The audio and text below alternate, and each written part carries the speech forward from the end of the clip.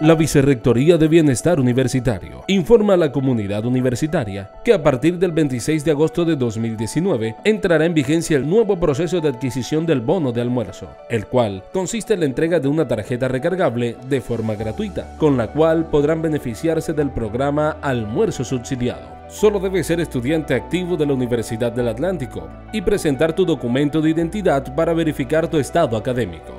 La entrega de las tarjetas se realizará en la taquilla del Centro Cultural. El horario para reclamar y recargar las tarjetas será de lunes a viernes de 8 de la mañana a 4 de la tarde. Solo se entregará una tarjeta por estudiante de forma gratuita.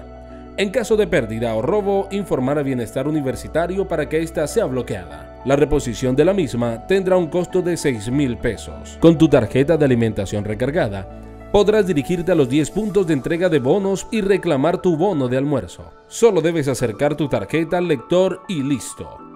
A partir del 2 de septiembre de 2019 se dará apertura al programa Almuerzo Subsidiado. Adquiere antes tu tarjeta, realiza tu recarga y accede a este beneficio sin inconvenientes. Universidad del Atlántico, una universidad con liderazgo regional acreditada institucionalmente en alta calidad.